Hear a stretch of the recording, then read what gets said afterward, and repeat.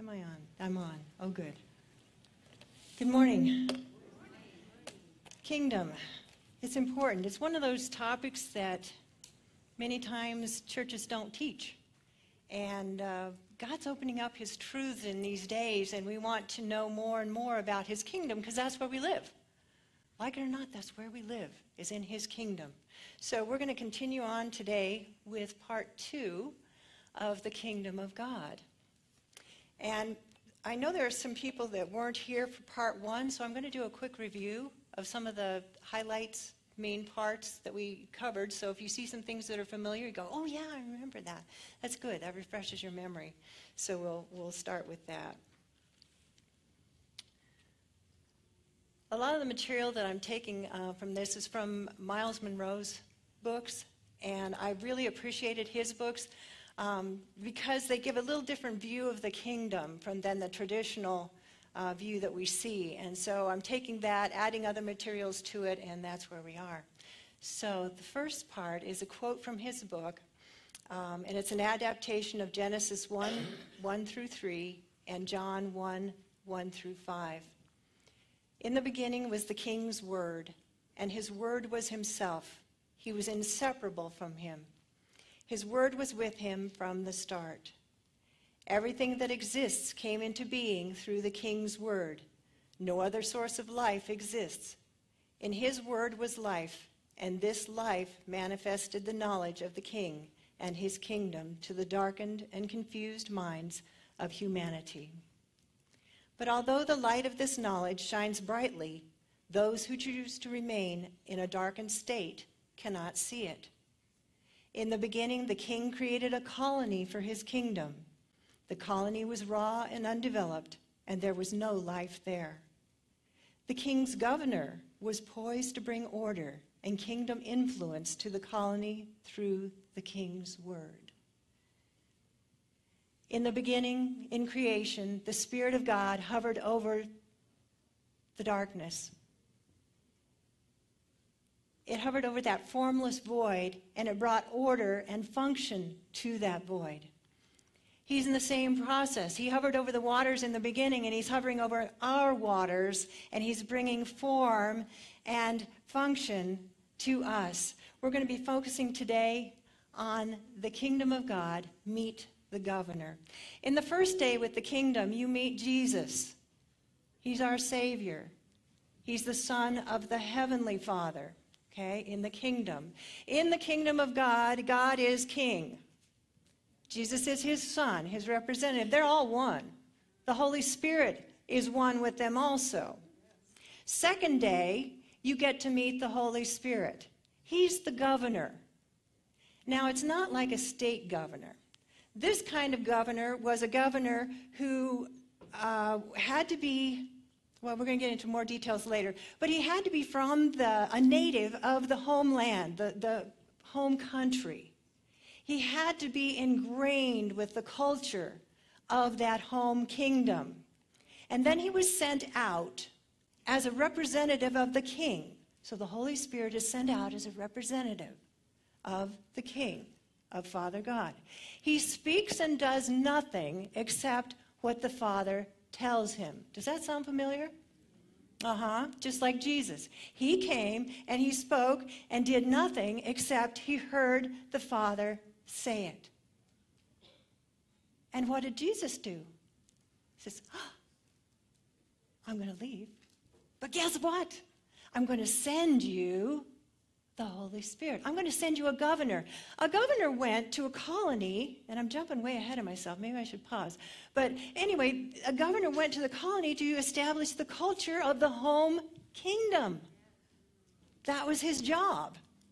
The Holy Spirit comes into our kingdom and he establishes the heavenly culture in us first, and then it spreads out here. All right, let's back up just a teeny tad here. So, some kingdom concepts that we talked about uh, last time I taught was the king. We've already talked about that. That's the Father. And the kingdom. The kingdom is a realm over which the king reigns, it's where he has dominion and he has power. There's a parent country. That is where the king, that's his realm. And then he is going to spread his influence to other areas. That's all part of being a kingdom. There's places that he spreads his influence to are colonies. In Myles Munroe's illustration, the kingdom of God is the spiritual heavenly realm which is around us, but then it spreads to the colony of earth. That's the picture he's using. And the influence of the kingdom of heaven then comes to earth. We're to be a picture of that original kingdom. Governor, we talked about that. That's the one that goes and represents the king to make sure that that culture and lifestyle and language and all of those things from the original parent country are reproduced in the colony. Vice governors, they work under the governor. They take instruction from the governor. We're the vice governors. We take instruction from the Holy Spirit. He only tells us things that the Father says to do. We follow His instructions and also help establish the kingdom of God on this earth. Citizens are different than residents. When you are a citizen of the kingdom, well, the way you get to be a citizen of the kingdom is not just merely crossing a border and standing over and saying, okay, now I'm part of the kingdom. No, no, no, no. Part of the way you become well, the, the only way you become a citizen of the kingdom is by receiving Jesus as your Lord and Savior. Then you are a citizen of the kingdom. It is only citizens of the kingdom that have certain rights and privileges. You can't just go and say, okay, I'm living in this territory, therefore you owe me. Uh uh-uh. uh. That's not the way it works in the kingdom. In the kingdom of God, you have to be a citizen to gain those privileges and responsibilities. The king takes very seriously his citizens, and citizenship is not given lightly in the kingdom.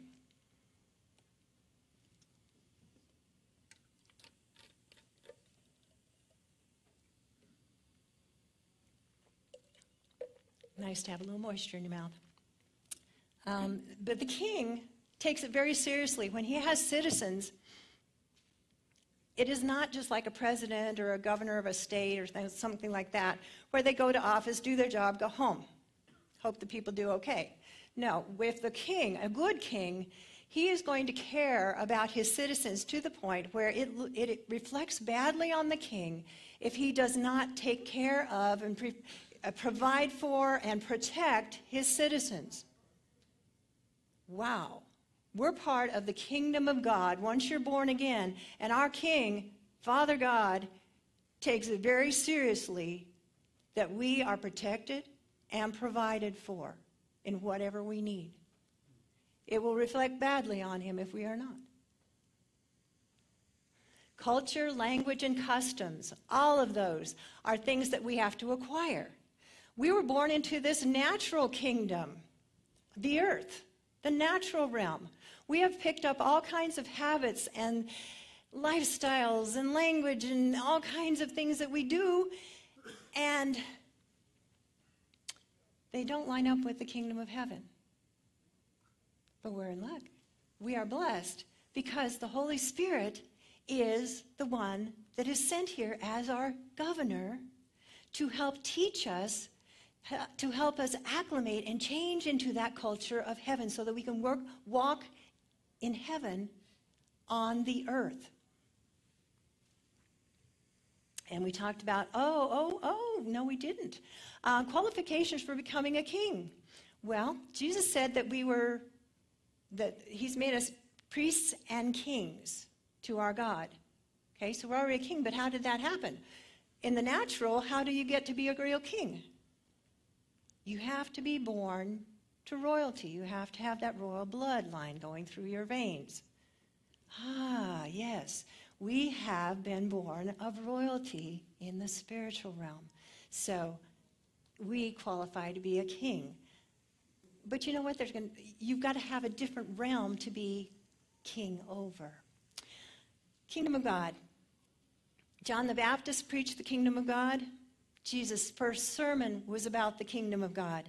Jesus' disciples and later apostles preached and taught the lifestyle of the kingdom of heaven. when we look at a natural kingdom on the earth, it sheds light into how the kingdom of heaven works. So if we understand how the natural realm works, it's kind of a picture. First the natural, then the spiritual, gives us a little bit of an insight on how it's done. The kingdom of heaven and the kingdom of God are synonymous terms. It's the same thing. One just tells who is king, the kingdom of God. Kingdom of heaven just says where it is. It's in heaven. Not far, far away in a fluffy cloud after you die. No. It is the spiritual realm right here and now. The kingdom of heaven is within you. It is within you. It is now. You do not have to wait until you die to gain the benefits and walk in the benefits of being a citizen of the kingdom. Isn't that awesome? You don't have to wait. I used to think that you had to wait till you had, you know, till you died and way far away, and then everything would be nice. Wrong. Wrong. Step out of the mud right now and step into the kingdom life, you know? Shake off that mud. He's teaching us how to do that step by step by step. Born again is mentioned three times in the scriptures, and kingdom of heaven is mentioned 158 times. It doesn't even include all the references that just say kingdom. And what is the church majored on? Being born again.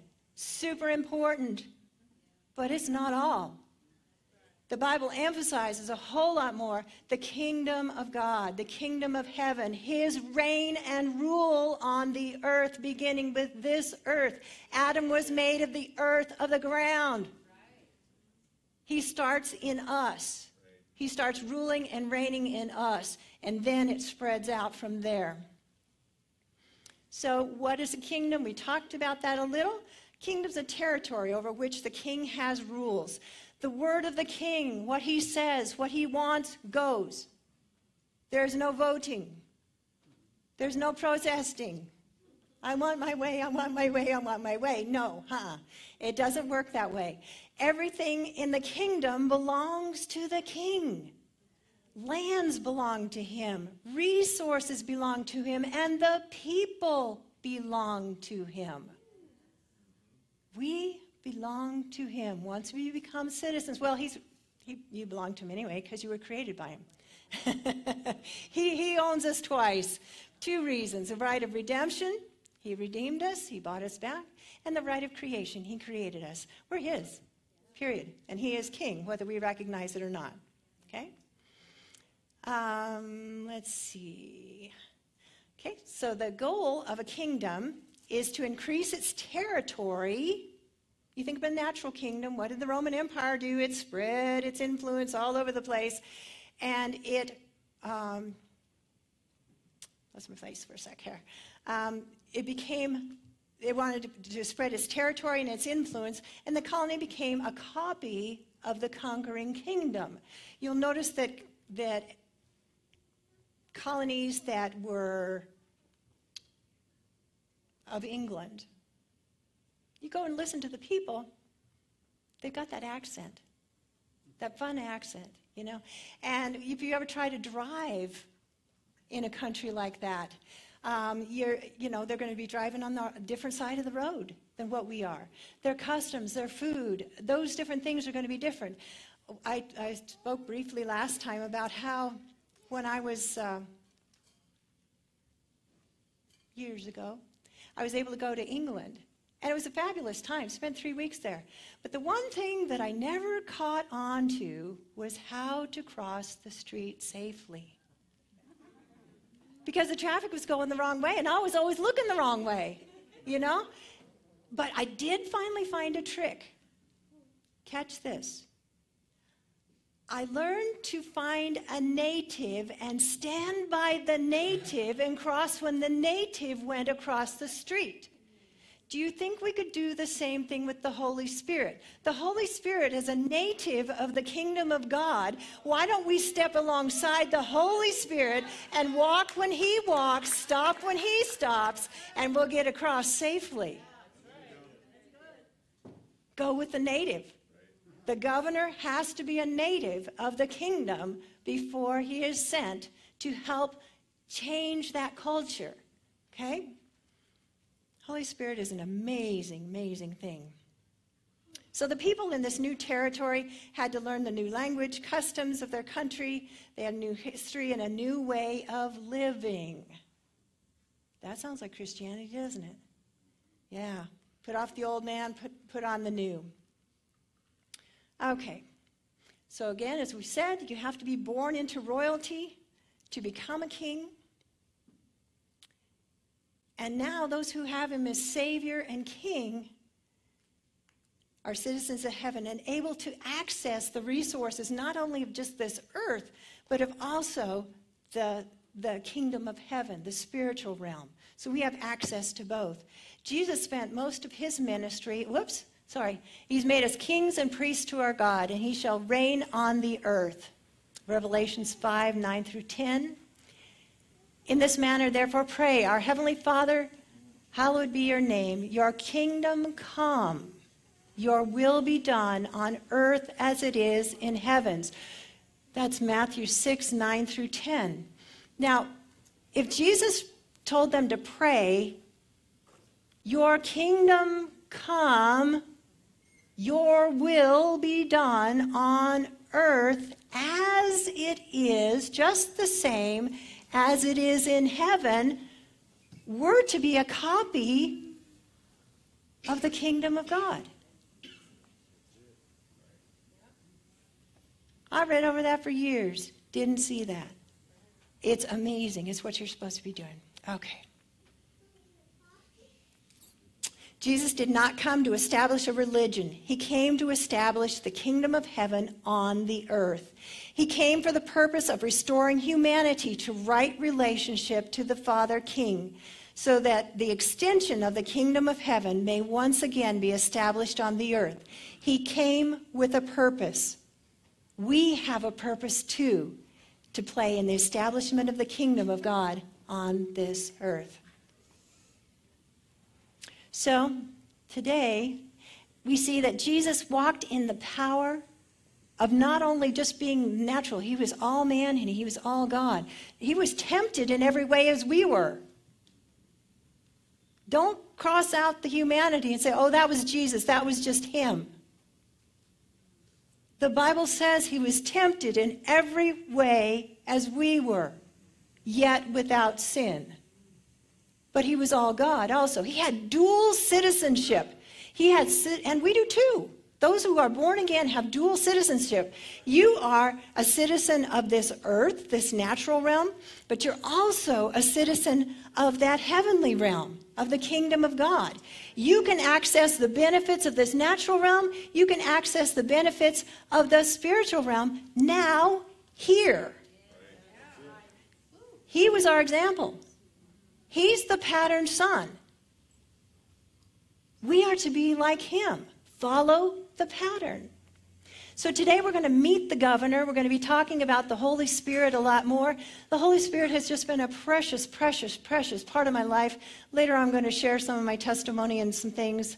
Um, amazing, amazing person, the Holy Spirit. He has been such a companion everyday companion, counselor. I talk with him constantly about little things. God, where did I put my keys? now, what was that I was going to get in this room? Honest. And he helps me. He is so precious. God, that person just gets under my skin. What do I do with him? He'll tell me. He'll show me. Where should I go today? What are we working on today? Follow the anointing. What does He have His fingers on for you for today? You have your plans. I always get up with plans. I have lists. Anybody who knows me knows I make lists. I have a bazillion lists. I, I consolidate them every so often. But I, I love to cross off lists. It's just one of those things. So I put down, okay, this would be awesome if I got all this done today, but I know there's no way I'm going to. But then I just pray in the Spirit for a while. And I just I do it daily. Do it daily. Shower is a great time to do it. Either praise Him, worship, music, whatever, but pray in the Spirit. That means praying in tongues, okay? And you just pray in the Spirit and just listen. Just listen. And He'll show you. Oh, okay. We'll do this first, and then this. Oh, okay. I can go out and weed. Okay. He knows what's coming. You're preparing the way as you pray in the Spirit, and it's amazing what happens. So let's find out about the governor. Okay, so he's part of his role is to help transition that, that colony, that newly conquered colony, into uh, being, being a copy of the homeland. Um, so he oversees that. The governor was sent to live in the colony, and the colony made a very, very special place for him. This happens to be in the Bahamas. I was curious because that's where uh, Myles Munroe is from, and uh, he uses a lot of examples from there. So I was curious to see what the governor's mansion looked like. And so that happens to be that one, but I'm sure there's some different ones. And he said that if the country were, was really poor and people weren't doing very well, it didn't matter. The governor's mansion always was a picture of the homeland. Hmm. It was always the best. The, always the best. Let me find where I am here. Do you not know that you are the temple of God and the Spirit of God dwells within you? For the temple of God is holy, which temple you are. Did you know you're the governor's mansion? You represent the homeland. At the new birth, he has been fixing you, not in the natural. Oh, well, yeah, he works on that. But there has been an instantaneous change in your spirit, which has allowed the governor to move in, the Holy Spirit. The kingdom of God does not come with observation, nor will they say, See here or see there, for indeed the kingdom of God is within you. You're the mansion.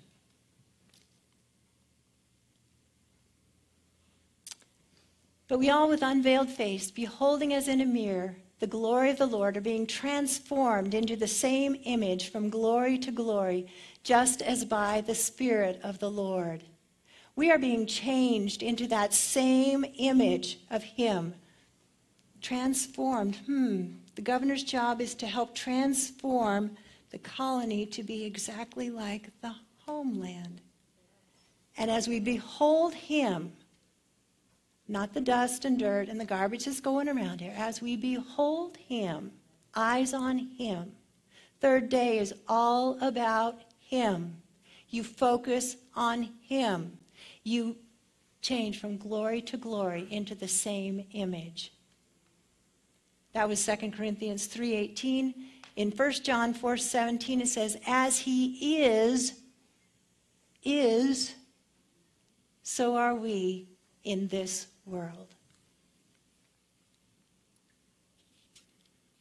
We are vice governors under the guidance of the Holy Spirit, the governor.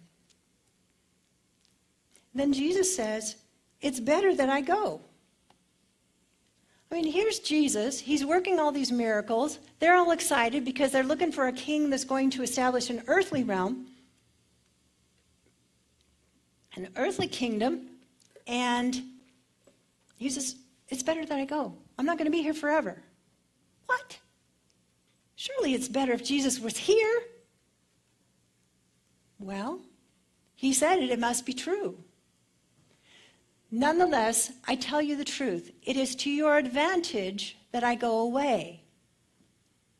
Your advantage? For if I do not go away, the Helper will not come to you. Oh, here's the reason. But if I depart, so I've got to leave, and then I will send him to you. That's John 16, 7. Here's another translation, I believe. Uh, amplified, I think. It is profitable good, expedient, advantageous for you that I go away. Because if I don't go away, now here's a descriptor of the Holy Spirit the Comforter. He has comforted me, even at the death of my cat. That I was super attached to. He comforted me.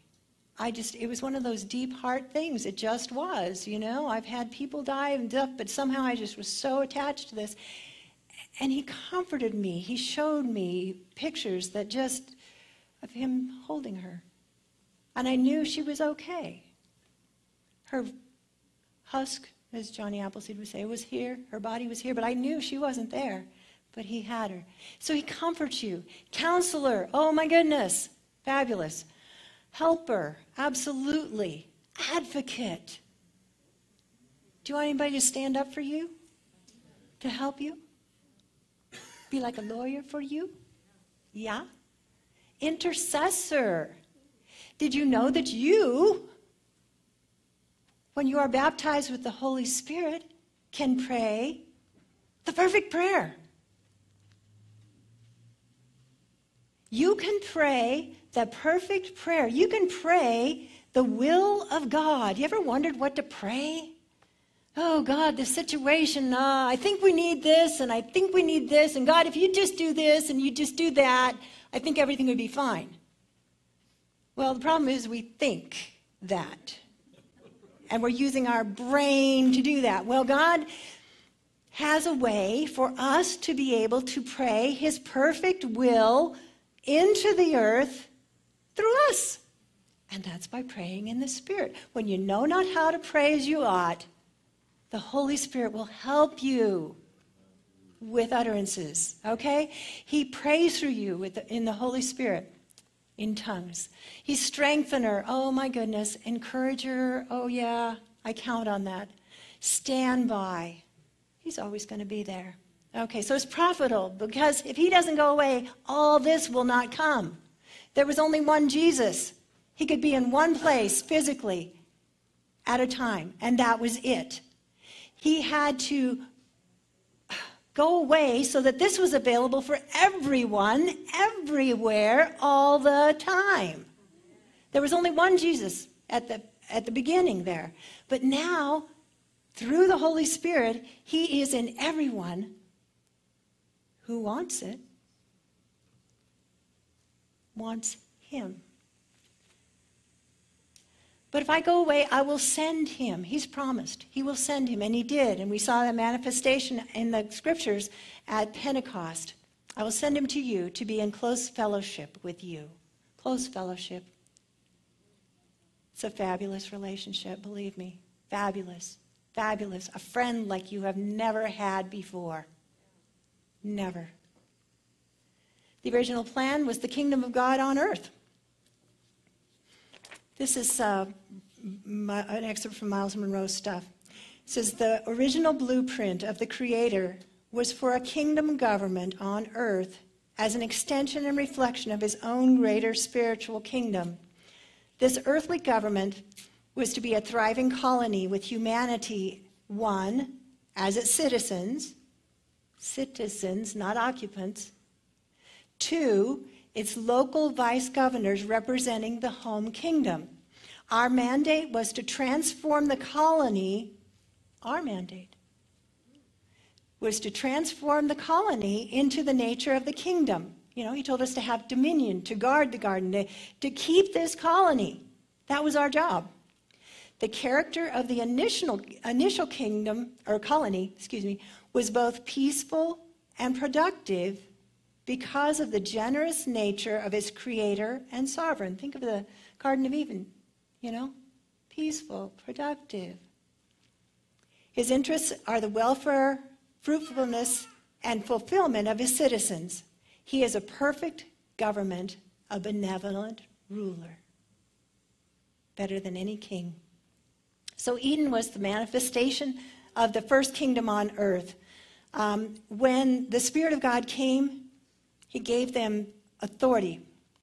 It was the presence of the Holy Spirit that gave man his authority and ability to have dominion over the earth.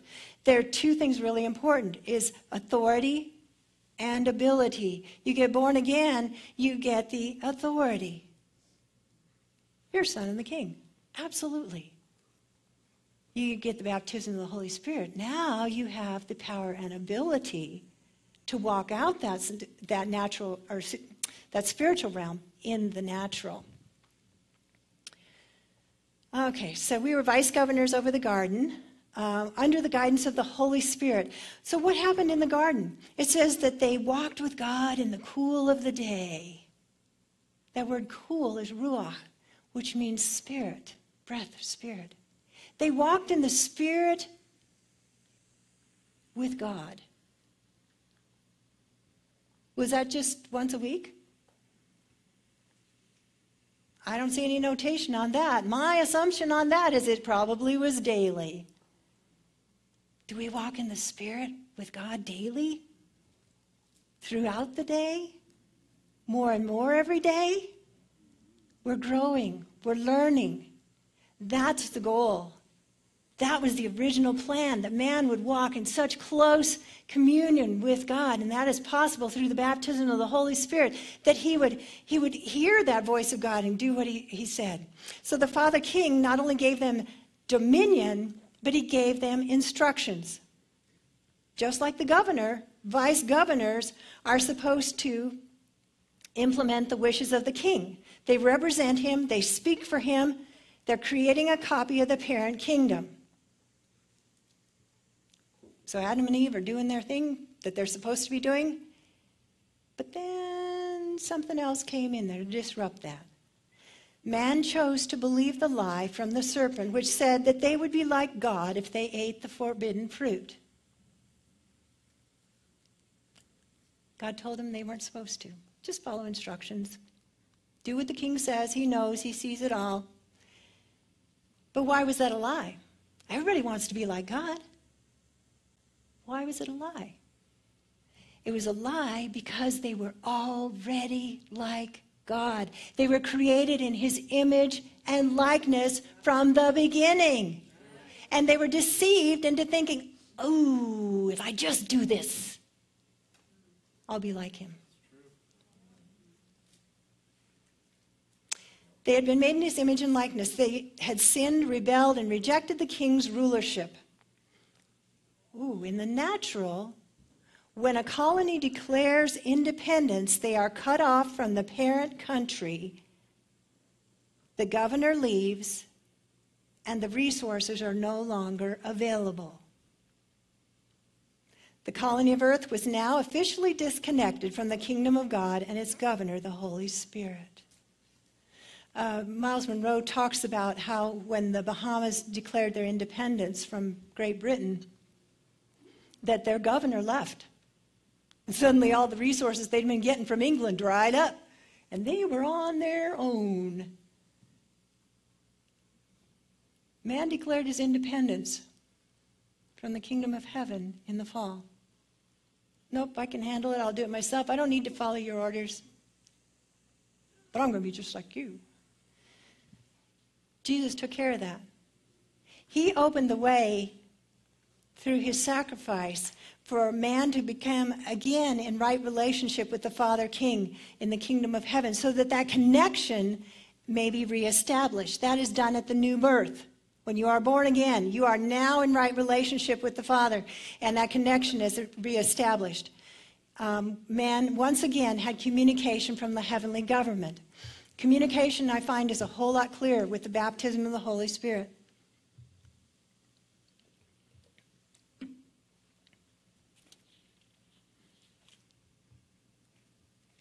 Okay. Uh, do, do, do, um, our entrance, so who's the governor of the Holy Spirit? Our entrance into the kingdom of heaven is also called the new birth, results in the restoration of our legal authority as rulers on the earth. Then our baptism in the Holy Spirit results in the restoration of our power or ability to carry out that authority. If I had a principal when I was teaching in the schools who did not back me, I had the authority to do this stuff. I was mandated to do whatever I was supposed to do, but they didn't back me. I didn't have the power. Guess who's backing us? All the power of the kingdom of heaven. Understanding these two concepts will enable us to be effective as we live out the culture of the kingdom on the earth, for both have to do with the reinstatement of the governor to his place and role in the lives of human beings. We receive the person of the Holy Spirit in the new birth. We receive the power of the Holy Spirit in the baptism. We need the person of the Holy Spirit to enter the kingdom of heaven, but we need the baptism of the Spirit to live victoriously in the earth. Anybody want victory? Mm-hmm. I like victory now. I like victory in every area of my life. Does that mean it's perfect? No, but we're getting there. We're getting better.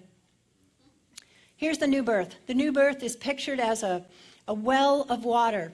Water is uh, something that is used to, to illustrate the Holy Spirit. What baptism of the Holy Spirit is like a flowing river. There's a whole lot more power there. I like that. I like both, but I like I like living victoriously. I, I, think that's awesome. The word is dunamis, and that is the kind of word we get dynamite from. It's power. Uh, the baptism of the Holy Spirit, take it the next step. So there's day one, there's day two. That flowing, powerful river is down payment of what he's about to release in this third day. The Holy Spirit is a down payment. If you've walked with the Holy Spirit much at all and you go, whoa, that's down payment? Oh my gosh.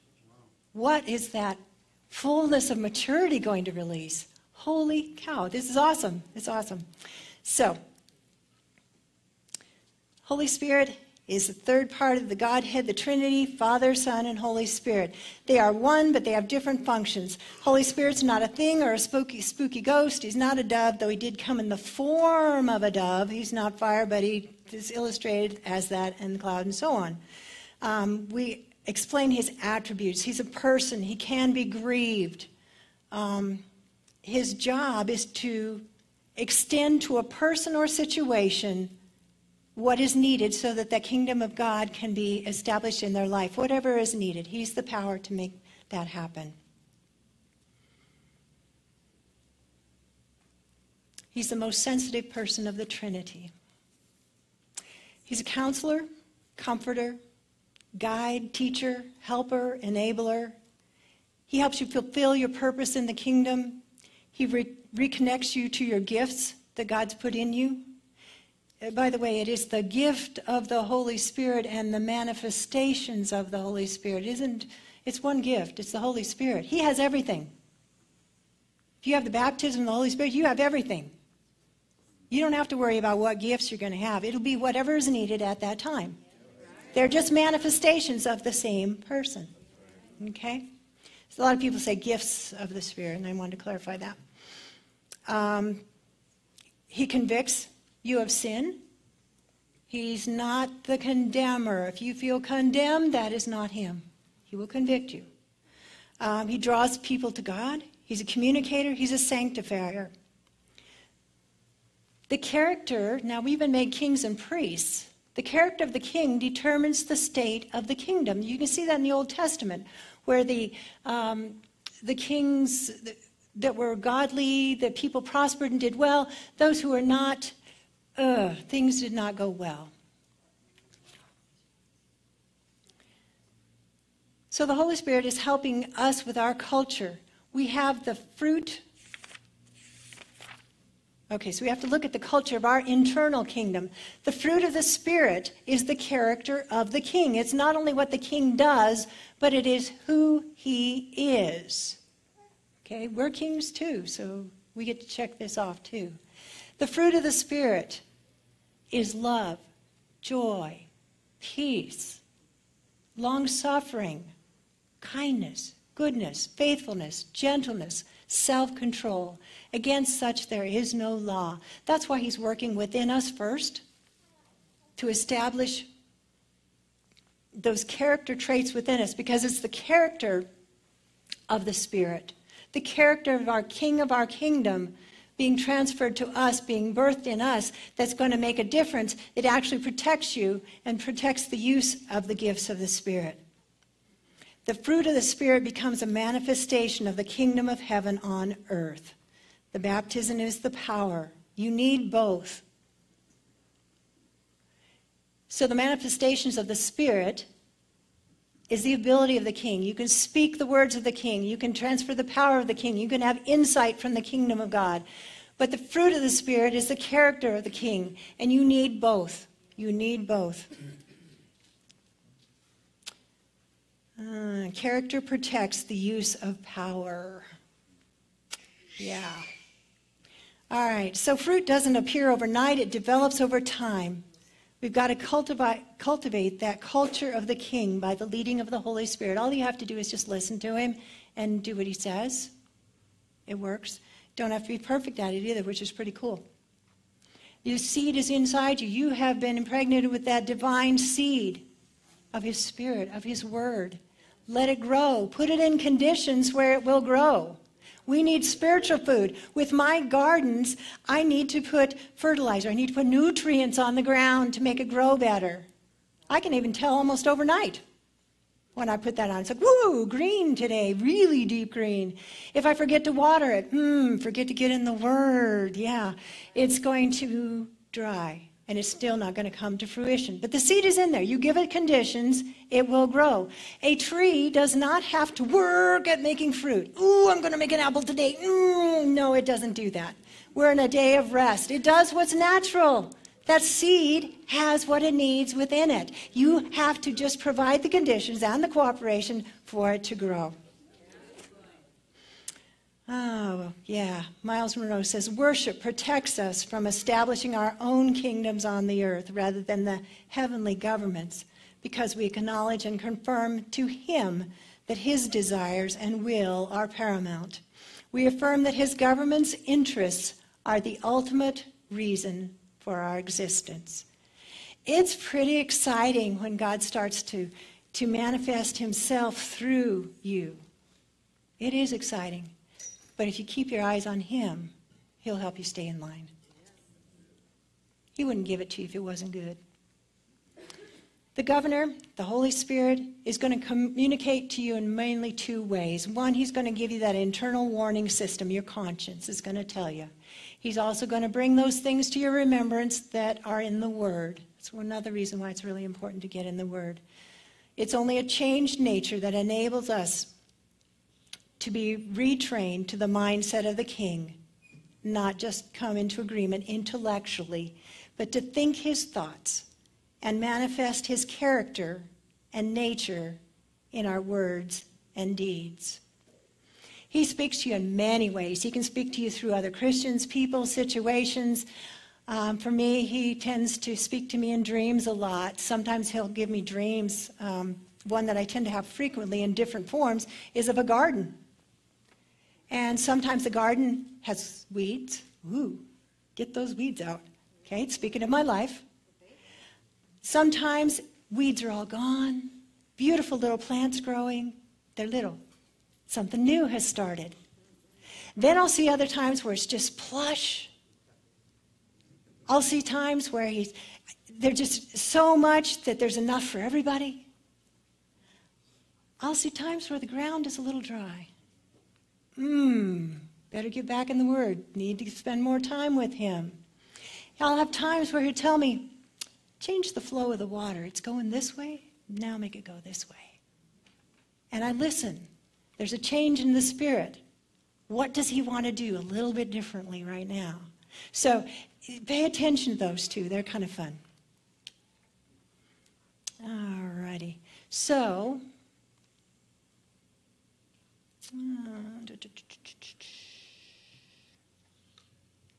Okay. Um, although we live on earth, we are also seated in the heavenly realms with the King who has brought us to live in his heavenly kingdom. We have all the resources of this kingdom to enable us to live out the culture of the kingdom on earth. They enable the citizens of the kingdom to take on the nature of the king and use the power of the kingdom of heaven to transform the earth. into the image of heaven. The manifestations of the Spirit are the delegation and distribution of powers by the governor or the Holy Spirit to the kingdom citizens in order to execute government business in the colony. It's not just to make you look cool and hotshot. It's for the business of the kingdom. It's to help others as well as you. It's both. They are for the purpose of impacting the earthly environment. When the king's son was on earth, he healed people, cast out demons, did miracles, and even turned water into wine to help the host of a wedding. He did practical works on the earth. But they were supernatural. They were naturally supernatural. He was out solving people's problems through the power of the governor. Hear that? He was out solving other people's problems through the power of the Holy Spirit. Especially when you have the Spirit of God in you at the new birth. Don't you want to help people? Don't you look at people and go, God, I wish I could help them? In the baptism of the Holy Spirit, you have that power. You just learn to walk with Him, learn to hear His voice, learn to be obedient, and sometimes it's comfortable, sometimes it's not. But it's all God and it's awesome. He gets the glory. Um, and this work continues through his continues in our lives today through the Holy Spirit. So, life with a governor. Now you get to hear some of my stories. Practical examples. Anybody want practical? God is practical. He's extremely practical. He's in today. I was amazed. Um, Yonggi Cho pastor of the largest church, I believe, in South Korea. So strong in fellowship with the Holy Spirit. And um, he talks about his beginnings in poverty and his beginnings hearing God and, and so on. And he ends up with the largest church over there. And when people come and they have a problem, they send them to Prayer Mountain. They put them in there's small little cubicles built into the mountain, and they go in there by themselves and they go pray in the Spirit and get with God until they get a solution. Whoa. Wow. Um, powerful, powerful stuff. And he says, it's amazing what the Western church has been able to accomplish without the baptism of the Holy Spirit. There's the power We've been able to do a lot without it, but with it, oh my goodness, He will get into here. He will help you in so many ways. Health, healing. Yes, there's supernatural healing. I have experienced that. Um, there are miraculous healings, meaning you're, you're, healing faster than you normally would. Um, I've had wisdom and treatment from doctors, but I also listen to the Holy Spirit. There was a time he told me, yes, go to this doctor and do what he says. Okay. Something totally new that I had no idea that I was supposed to, you know, I didn't know where to go for this problem. And he did. He will also tell me things like, see if these sound familiar. Does he, is he talking to you like this? You need more exercise. After I had surgery, I had abdominal surgery, and I just got so tired of lying still. I just, oh, and I wanted to stretch my legs. And so I would gently just stretch my legs, which would put stress on my abdomen, which was not what I was supposed to do. And finally he says, quit tearing apart what I'm knitting together. it's like, okay. So I quit stretching, and um, it was good. He tells me things like, you need to eat more of this. Or he'll say, you know, I'll go to him and like, God, I'm having this problem. He says, um, you've been eating a lot of sweets lately. Practical. Really practical. There's your problem, girl. Right there. You've been eating too much of it. Okay, fine. Um, he'll point out books and people and so on where I can gain information. Um, and it's just what I need. And it's something as natural and practical, but it's supernatural in that he has pointed it out. Relationships. Think he cares about relationships? Absolutely. Can he be practical? Absolutely. Learn to tune in. Um, a lot of times I'll be in conversation with somebody and, and I want to just butt right in and say this and this in my mind and what I think ought to be done. And, and he says, just listen. But God, I've, just listen. okay. And I'll listen. Um, sometimes there'll be a situation or something I want to get involved in. He says, eh, leave it alone. I'll take care of it. I got this one. I love it when he says, I've got this one. But God, don't you see this? They really need this and they really need this and they. I've got this one. There are times when he would tell me, hold your boundaries in this one. Hold your boundaries. He's, he just, he will, he's your coach. He's your coach to help you in all that stuff. Finances.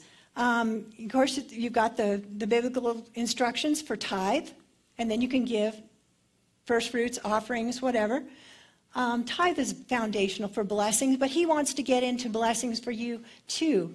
Um, cars, okay? Would you like to have instructions on buying cars? Yes. I want it from the beginning. Um, when I was, I think I was just out of college, needed a car, never gotten a car. My parents blessed me in allowing me to, to earn my first car. I had access to cars I could drive, but I got to earn my first car. And I wanted to pay cash. You know, I just did. You know, fresh out of college, having my little bitsy money, you know. and my brother, who also is a Christian, happened to be downtown one time and he walked and he says, That's Jeanine's car. God will use other people. So I went down, I'm like, yeah, that looks fine. That's perfect. And it turned out to be a very, very good car with good ratings. It lasted a very long time. And then I passed it on. So I needed another car. And by then, I had grown in my walk with God where I had learned that you need to make your request known. So I said, God, you know, I need a new car. I feel like you're telling me it's the season for me to get a new car. And that was the key, too. Is it the season? Is it the time? And then I said, you know, what I would really like, you said to make your wishes known. And so what I'd really like is I need, I would like to have this thing in it, and this thing in it, and this thing in it, and this thing in it. And that, that's what I'm looking for. Would you please guide me? So as we went around, we found them eventually. And this is my single days. And I looked at these two cars. They looked identical, both blue, you know, just identical cars. Bumpers were a little different. And I just, I thought, I think this is it. I looked, does it have this? Does it have this? Does it have this? Does it have this? Yes, it did. And I said, oh, and it had that? And that? And that? Whoa, this is cool. This is way more than I ever asked for. Sure, I think so. Check the price. Yep, I can do it want to pay cash. So I went in a deal, and they it was it was up here, and I wanted to be here, and God worked it so that it was right, really close, and it took just a little bit of, and I said, God, you know, my request was that I'd pay cash for this thing, and I wouldn't owe anything, have to take out a loan or anything, and He says, um, it's okay. So I went on, and sure enough, situations worked to where it fit right within it, and I was able to pay cash. It again was one that had, God knows the background of cars. Did you know that? he knows what they've been through. He knows the good ones. He knows the ones that are going to be dependable. And let him show you. That was an extremely dependable car that I kept for years and years and years and years. And then it came time for close to retirement. I thought it's time to change in again okay, what am I looking for? And I da da da da da da, and what's the price frame, and la la la la. And I still was a little confused. Everywhere I looked, it wasn't quite what I was looking for. It just didn't feel right. You'll get a witness. The Holy Spirit will give you a witness, and if it just doesn't, mm, just doesn't settle right, you know it's probably not it. So I looked, and but then He gave me a picture. I saw a back hatch open, and I saw the back. That's all thought, okay. So as we walked around, we looked at different ones, and this one I thought, oh, that's just too fancy for me. I don't know. But we opened the back hatch, and that was the picture I saw. I said, well, this must be it. And that's the car I have today. So he will help you with all kinds of things. When we bought our house, when we first got married, we again were looking for certain things. And we decided this was the house that we were going to try to buy. And uh, it had a price here, And we wanted to, we never had dickered on a house before, nothing. And so we wondered about that, and I heard, don't offer less than X number of dollars. Okay.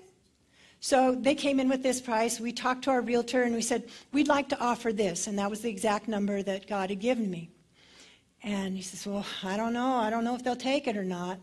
But I'll check. I'll ask him. So he asked him, and they took it. First time. No negotiating. Boom, done. The Holy Spirit is extremely practical in everyday life. He'll tell you when to sell things. Um, the, another one on money. It isn't always in. Sometimes it's out. I had just been to the um, bank, gotten some money out, several hundred dollars. And I went to the grocery store and I saw one of the guys that worked there, and I happened to know that his wife had all kinds of physical issues and they had hospital bills, and it was pretty overwhelming. And I thought, on a grocery clerk's salary? Wow. And, uh, but I just, I was busy, ready to check out, and I'll be darned, this guy was here. And, I, um, and uh, God says, give him the money. give him, give him the money. How much? All of it? But God, you know how much I got out of the bank? He said, All of it. I haven't told Ernie yet. Okay. So I went up to him and I said, I feel like the Lord wants me to give this to you. And he started crying. And uh, he says, The Lord has just been blessing us with people, just coming up and giving us money. And I gave it to him, and I don't know if we prayed or not, but I got totally blessed, and we were just having a revival service right there. Holy Spirit was in the middle of all that. And little did I know that that act of obedience would open the door in another area that I needed opened in my life. Wow. I didn't ask for it, I just was obedient. You got to tune in. He'll help you with recreation. I always pray about where we should go for vacation and when. Um,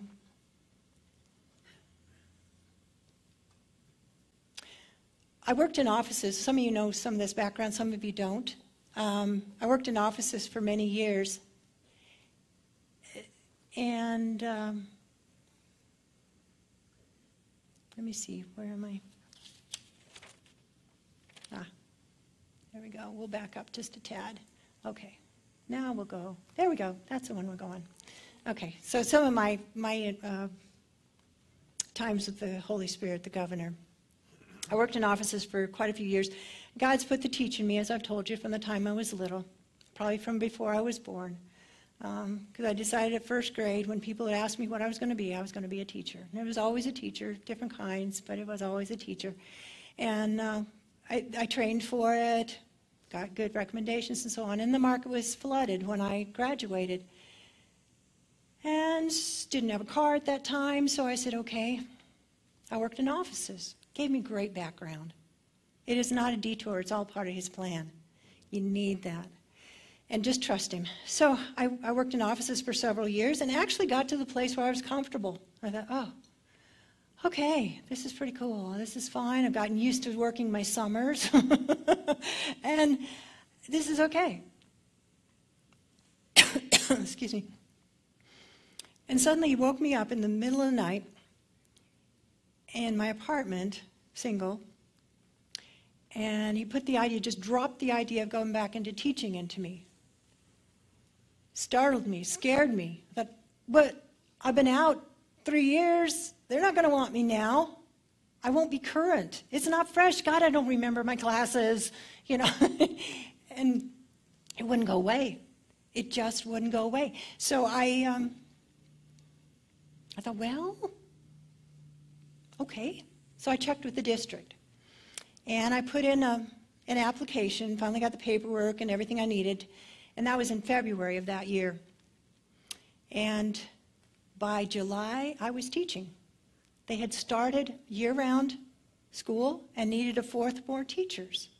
And actually, when I got done with that particular interview, I did a couple interviews, and they just didn't feel quite right. And I got done with this one interview, and God had given me words. I didn't realize it till later, but He gave me words to say that caught the attention of the principal. I walked out of there and I thought, I think I have the job. Sure enough, day or two later, I got a call. Would you like this job? And I was there for many, many, many years. So he will change that. So when I was at school, they, you know, I would have done it for, uh, for no money, except I needed money to live. I loved it so much. It was just fun. And I would tend to stay after school to do a lot of my work. And I would just do a lot of stuff. So I got to know the custodial staff really well. And lots of nice people. But this one guy in particular, I'll call him Joe, uh, would come through. I think he had a Catholic background, but I'm not sure. I'm not sure if he even went to church at that point. And uh, I had freshly been baptized in the Holy Spirit the year before. I tried teaching on my own power, just being a born again Christian for one year. Ugh, horrible. I did not enjoy it. But then I received the baptism of the Holy Spirit and learned how to flow with Him. Fabulous. Oh my gosh, what a, what a walk. And so I was I'd, I'd, just talk to him. We'd talk about the Bible. We'd talk about being born again. And, well, he didn't know about that. And eh, he wasn't too sure. And then there's one day, he just kind of laugh and just kind of go on his way. We talk. And then one day I felt like I was supposed to tell him about the baptism of the Holy Spirit. So I did. And he's like, oh, you're kidding. No way. Tongues ew, you know, he just he wasn't into that. I said, oh yeah, and I started to explain to him. Then I heard the Holy Spirit tell me, you need to pray in the Spirit for him. You kidding? God, this is a school. Are you sure? Oh yeah, he was sure. So I said, Joe, I feel like I'm supposed to pray in the Spirit for you. Can I do that? Yeah, sure. He said, Give me your hands. So I took his hands, closed my eyes tightly, and prayed in the Spirit out loud. And I'd never done that in front of people before. And he, I just, so then I, I didn't feel a thing, you know, but I'm just going like this. And I opened my eyes, and his eyes were this big. He says, What did you do? It was electricity going through your hands. What did you do? He left. But within a very few days, maybe a week, he came back. He says, You know, you were talking to me about that born again stuff. Well, I asked God, and He came into my heart, and I got born again. Tongues are a sign for the unbeliever. And God used it as a sign to get his attention. Whew. He was amazing, just amazing. I've had times where a, a, child was choking in my class, and God told me there was nothing I could see. The kid just had his mouth open, just a surprised look, came up to me like this. And God told me, he's choking, use the Heimlich. I didn't question. I whipped the kid around, started doing the Heimlich, and then just wondered, is he really choking? I thought, I thought well, you better tell me if he's not, because I'm going to go for it. And sure enough, something popped out. Practical. The Holy Spirit is practical. He wants to solve people's problems. I've been in situations where I've been disciplining children and talking to them. And um, one time I found I couldn't figure out what was going on with this child. And I was like, I was frustrated. And I said, What's going What's going on? What's going on? What's going on? And, and the kid was just clammed up, wouldn't say anything, and just, no, no, no. And I thought, okay, okay, back off. And then I found the words just flowing out of my mouth. Did not think of them at all. They just flowed out, the Holy Spirit. I said, Are the kids picking on you? He yes. And he started crying. And then we could deal with the situation. Everyday life, if you're open to it. I was disciplining a, another child in another situation, and, and I was talking real strongly to him. And then pretty soon I heard the Spirit say, That's enough. We had gotten to where we needed to, and stop before you break him. So I stopped. And then I was able to be that comforter for him. And we made great progress together. It was awesome. When you find out where the anointing is in your day and your life and your walk, it takes the stress out of life. A lot of stress out. I won't say everything, but a lot of stress out. God, what would you have me do today? I'm not going to sit back and be dumb. He already knows the lists I've done. Okay, what's the project for today? What should I start on? Oh, okay, this, this, this. I've had it in timing. I've had it in driving where he'll tell me, go this route or this route. And suddenly it's like, but God, this one's quicker and shorter. I chose to do it my way. And there was a traffic accident that had happened to block the, the road. Oh. then I, I yeah, asked for forgiveness. Sorry, God, I didn't listen to you. I'm sorry. We'll do better next time. You may not hit it every time, but you get there. It, um, he will tell you how to pray for people, for healings and all kinds of things. Uh, there was a heart condition of a, of a gentleman, and he gave, uh, God gave me a scripture to use. I used the scripture. He had been to the doctors, going to need all kinds of stuff. Because I prayed the way the Holy Spirit showed me, the man went back to the doctor, and he did not have that condition anymore. He wasn't going to need that special treatment they needed. I had a neighbor who was Presbyterian retired minister. Sweet guy. Loved him. Loved him and his wife. And we'd go over and talk and we'd pray for one another. And he just happened to mention that he had this something on his leg, and it was pretty big, you know, and it was a cancerous growth on his leg. And uh, he was going to have to go in and get it taken care of. He was rather reluctant about it and all. And uh, I could just sense the Holy Spirit saying, Pray for him. I said, Okay. I said, Can I pray for you? He said, Yeah. So Ernie and I both prayed for him, and I followed the leading of the Holy Spirit, and he said, Encapsulate that. So I prayed, and I told that thing to encapsulate and to fall off. Now, do you do that every time? No.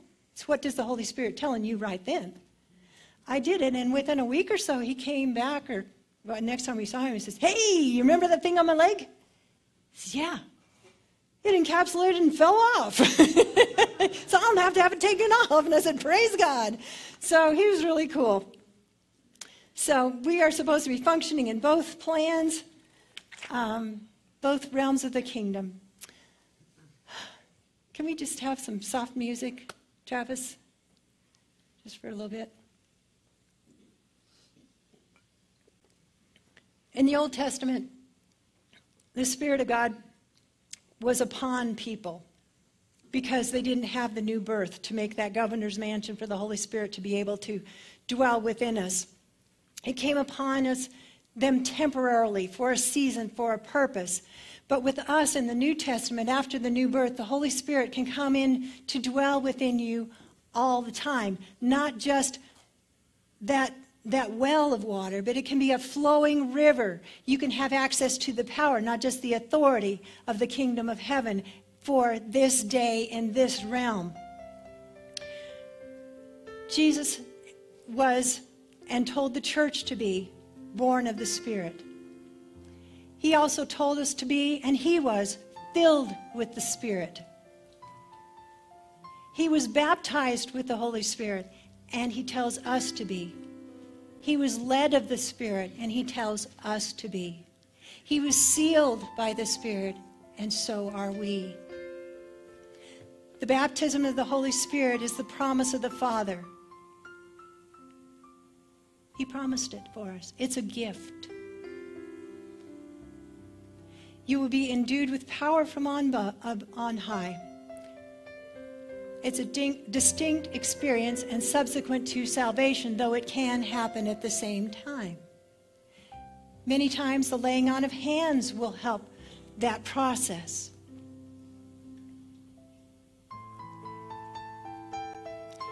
And tongues comes with it. It's like a pair of shoes. It just comes with it. Why not have that perfect communication with heaven? Why not allow the Holy Spirit of God to pray that perfect will of God through you? Can we all stand?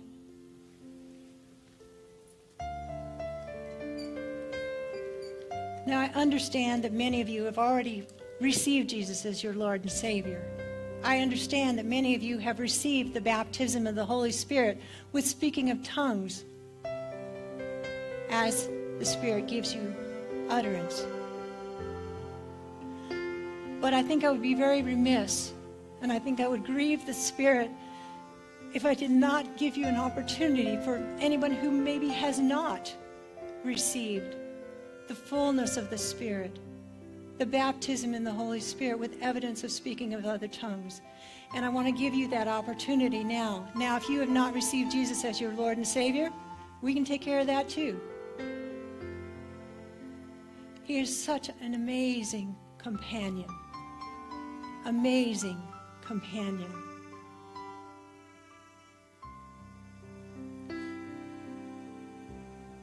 But the Comforter, which is the Holy Ghost, whom the Father will send in my name, he shall teach you all things and bring all things to your remembrance which I have said to you.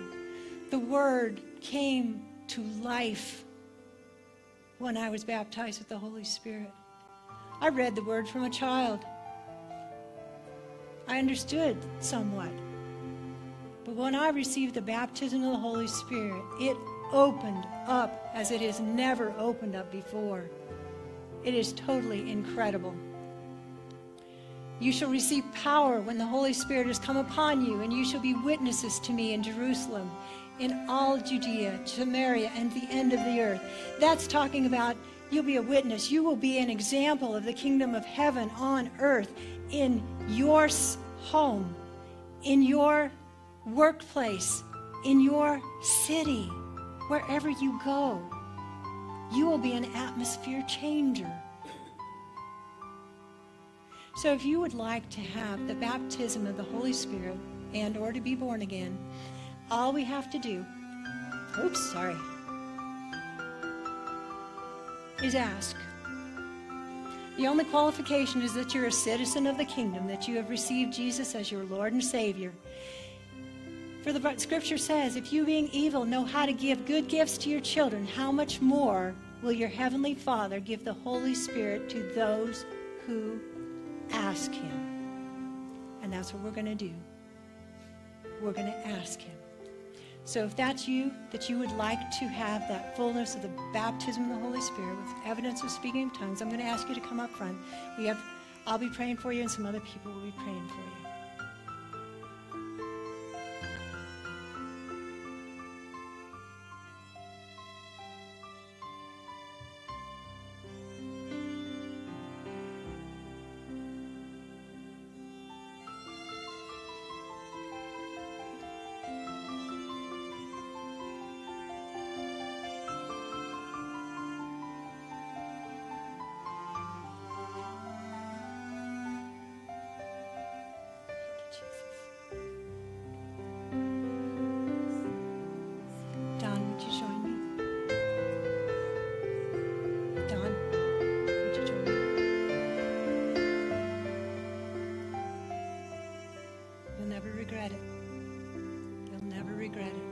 Jesus is the baptizer in the Holy Spirit. He's the one that does the work. A whole new world is opening up. I'm going to ask those of you, especially who have received the baptism of the Holy Spirit, would you reach your hand out towards them? And just pray in your tongues real softly. Just real softly. We're praying the will of God. We're praying the will of God to them in their.